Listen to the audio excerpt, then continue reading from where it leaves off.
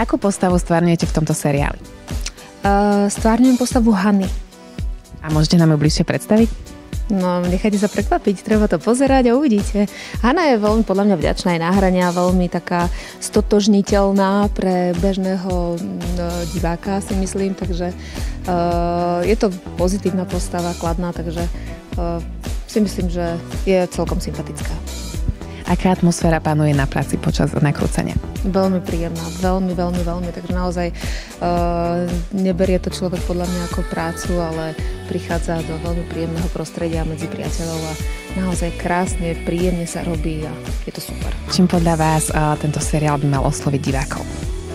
Lebo je z takého bežného prostredia si myslím, školu si každý z nás pamätá, aj my sme si zaspomínali na niektoré časy z nášho detstva, takže je to také s čím sa podľa mňa každý mladý rodič stotožňuje a zažije také situácie v bežnom živote, takže my presne tieto situácie hráme a myslím si, že toto je takéto spojitko, ktoré by mohlo fungovať. Keď vravíte, že ste si zaspomínali, tak ktoré predmety vám tak išli na základnej škole, alebo čo ste rada robili? čo ja viem. A, tak mne sa páči, tuto je krásna napríklad telocvičňa, takže dala som taký pokus na lano, ale ďaleko som nedošla, takže som pochopila, že šport to nebol. A rôzne, ja som mala rada školu, hlavne preto, že my sme tam boli výborná partia, takže e, vlastne doteraz sme v kontakte, takže je to zo pár rokov a, a je to fajn.